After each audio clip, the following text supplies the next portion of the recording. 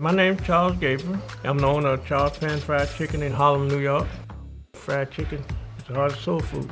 And uh, I've been cooking chicken since I was eight years old. And I always cook my chicken in a frying pan.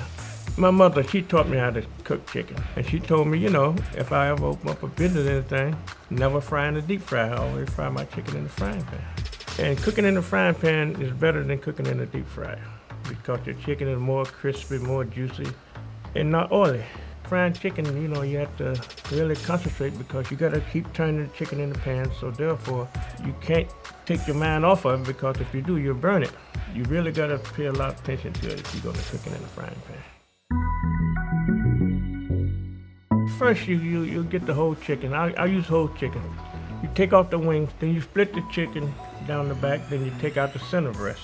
Then you're gonna take off the side breast, and then you're gonna take the thigh and leg you're gonna cut and separate the thigh and the leg, which give you nine pieces of chicken. Then once you do that, you season it. I got certain things that I put in it.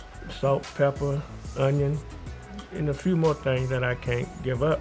Just sprinkle it on, not too much, just a little on the chicken, and rub it in and just let it sit. And after that, I can make up your egg wash with milk and egg, and I put a little bit of my special seasoning.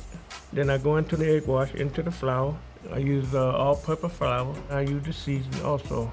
You don't want to put too much in the egg wash. You don't want to put too much in the flour. Otherwise, it's going to be too salty. Then into the frying pan. I use soybean oil because soybean oil don't burn as fast as some of the oil out there. You don't want to cover the chicken oil. You want to be half in, half out. And then you, you let the oil come to about, I'll say 375, and then you drop the chicken in. Let it brown for about six minutes, then you turn it. You gotta keep moving it and moving it and moving it. Otherwise, uh, you're gonna burn it.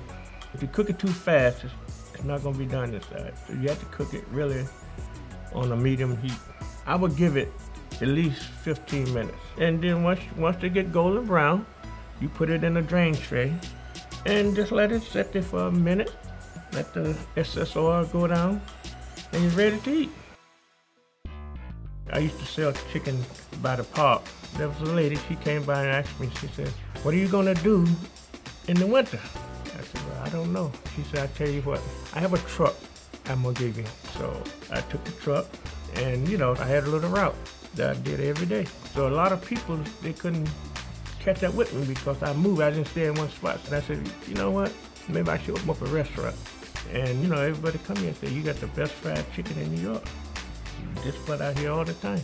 And uh, I've been doing it all my life, and uh, when people tell me that, it really makes me feel good and happy. it's amazing. I never thought it would be like this.